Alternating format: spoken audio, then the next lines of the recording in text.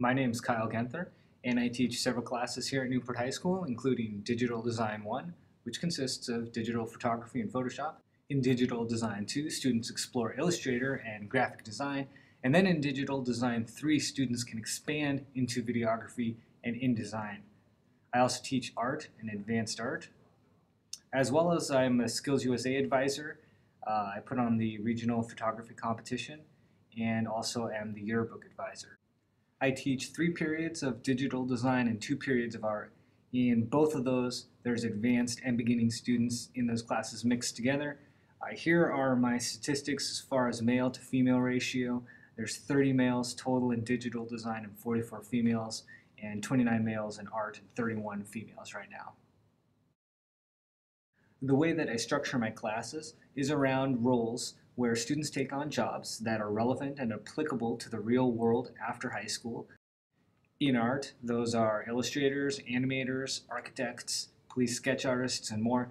And through those, they study art skills and concepts such as the elements and principles of design, composition, drawing techniques, and use of various mediums, including paint, pencils, clay, collage, and many others throughout the school year.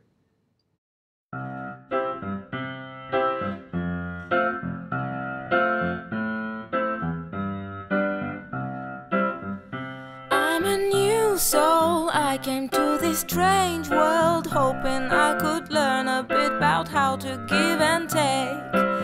But since I came here, felt the joy and the fear, finding myself making every puzzle. What do you What do you like about digital design? I like that I'm you know, able to create things in it that you know want to create, make something that no one else has made before. What do you think about digital design, Carla? What do you think about digital design? We love it. It's fun. It's a great class. Best class I have. Hall high school career.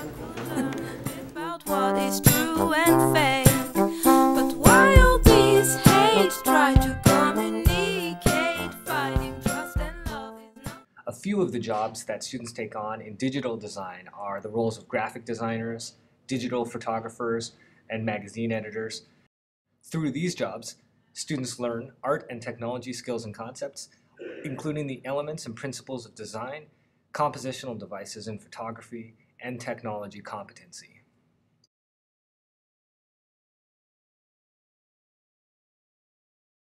Here's a list of some of the technology used in digital design.